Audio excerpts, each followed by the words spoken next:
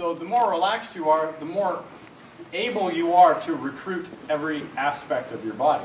So a lot of people, you know, they're tense up here, they're tense in the shoulders, they're thinking, I want to fight. We're all about not fighting, right? And that's not just this passive thing where I'm saying, well, you know, I just, you know, want to, you know, just not deal with you. No, we want to deal with the person, but we don't want them to focus on us or escalate aggression or even give them something to fight. Because if I want to engage someone else and I'm going back at them with uh, you know, some kind of tension or anger or aggression, then they're going to be able to fight you. When you're doing your strikes, I want you to be really, really conscious of how your body is moving, how you're generating that power. Really, what I'm talking about here is not trying to hit this other person. What I'm trying to do is make them think about themselves. Borrow anyone, whoever. Whoever wants to learn the most. okay, next time, next time. Ah, I like it. But, you know, if I'm presenting a, a, a, posture that's, you know, compliant, relaxed, non-aggressive, we talk about this stuff. I mean, I know this is not the first time you've heard this. But a lot of times when I talk about making a strike or other people like start to strike, their body changes. I don't want you to change. I want you to stay passive mentally, and I want that to bleed into how you're striking and how you generate power. Let's think about how your body generates that. Whether starting with the shoulder here, you can rotate your arm. Through, okay, I'm not hitting, I'm touching here. Okay, at different levels. And as you do this, watch how your body has to generate that power. Notice what I'm not doing. You're not winding up. Not yeah. winding okay, up. that's what I was hoping you guys were. And your hand feels heavy. It still feels heavy though. And that's important because my body is relaxed and I'm able to put that in there. I want it to be. Thing. It is because, you know, he was figuring some things out, how to recruit the body. If you watch Bruce Lee as he's doing it, he wasn't doing this. The body has to put something behind it, otherwise there's nothing there. You can't just like pull things out from the universe and place it in them. What your body has is all it has. And just like we were talking about before, you, you don't have more mass until you pick something up and use it, which is great if you can access it.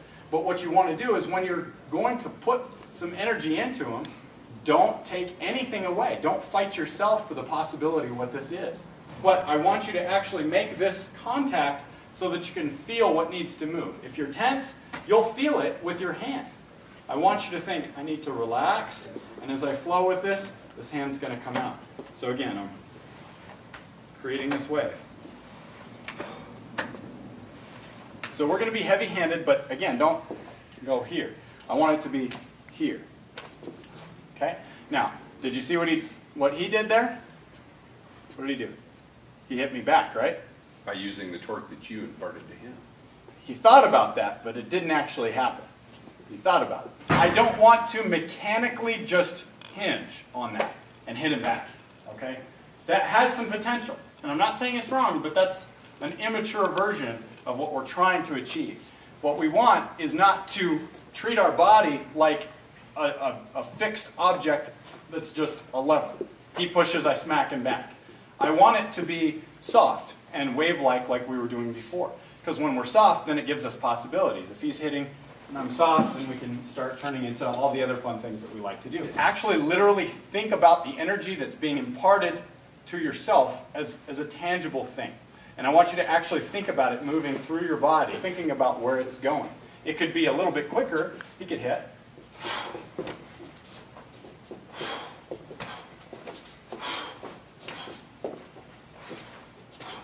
You guys hear Thomas breathing? And he's experiencing this and he's breathing that loud. You guys should be breathing that loud. Breathe good.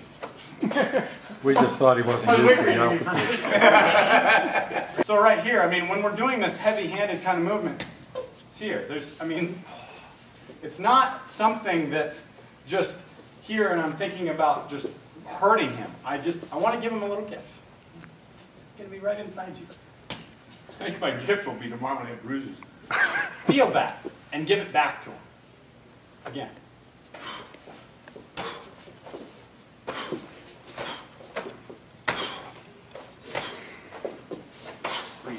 We're a bag of jello in real life. We are. I mean, we got a lot of fluid in us, and the fluid is different viscosities. You know, the, the, your muscles have fluid in it. And when you tense it, when you impart a, wave energy into it, and then you tense it, that means it stays in there. It doesn't get to go away. It resonates in you. Uh, and so you feel it for a long time. If you open up the bag of jello and let it all smear around, the energy dissipates because the, it's not as focused, so the waves stretch themselves out. If you're having trouble giving it back, don't at first. I'd rather you receive it and move properly, and then learn how to move it away from you.